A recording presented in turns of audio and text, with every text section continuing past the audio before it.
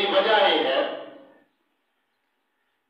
یہ لقب حضرت عمر عمر بن عبد العزیز نے، جنہوں نے عمر سامی نہیں آخیا جاتا ہے یہ حضرت علی کے بارے آپ نے منتخب فرمایا۔ کیونکہ خارجی جڑے ہیں نا خارجی حضرت علی نو سبا اللہ وجہ اللہ معاف کرے گا ترجمہ ہی نہیں کیتا جا سکتا وہ یہ گل کرتے ہیں حضرت عمر بن عبد العزیز آپ نے فرمایا، نہیں جو تسی آ کرے وہ سچ نہیں، علی دے چہرے نو اللہ اور عزت عطا کرے. وہ توہین کرتے ہیں۔ پتہ لگا کہ خارجی کون ہے؟ جو حضرت علی پاک دی توہین کرے۔ جو حضرت علی پاک نہ بغض رکھے، وہ خارجی ہے۔ تو جڑا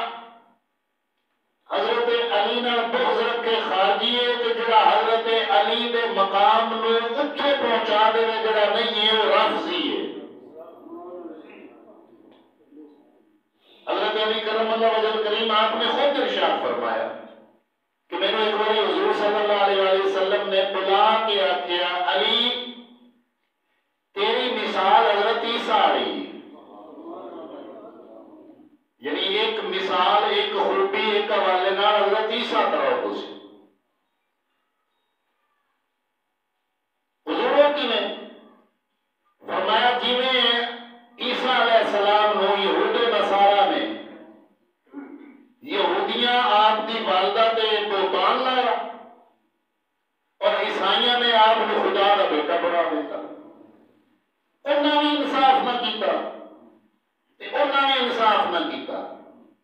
جو کچھ نہیں آن بنا دیتا، جو کچھ آن وہ رمن نہ دیتا۔ فرمایا، تہاڈی مثال بھی انجے تہاڈے چاہن والے دو قسم دے لوگ ہونے نے۔ ایک ہونے جنہ تو خدا بنا چھڑنا ہے۔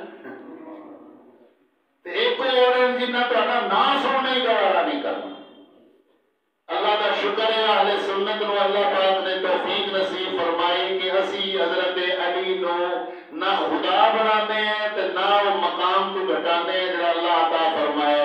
حضرت علی ساڈے سر دا تاج نے ساڈی اکھاں دا چانن ہے۔ ساڈے دل دا سرور۔ اور اے سانو اللہ دے قرآن نے دسیا اور مصطفیٰ کریم دے فرمان نے دسیا ساڈا عقیدہ ہی ہوا ہے جو اللہ کا قرآن عطا کرے جو مصطفیٰ کریم کا فرمان عطا کرے حضرت عبداللہ بن مسعود رضی اللہ عنہ، حضرت عبداللہ بن عباس رضی اللہ تعالیٰ آپ نے فرمایا، تین سو آتا قرآن دیا علی پاک کی شاہ میں چکر تین سو آیت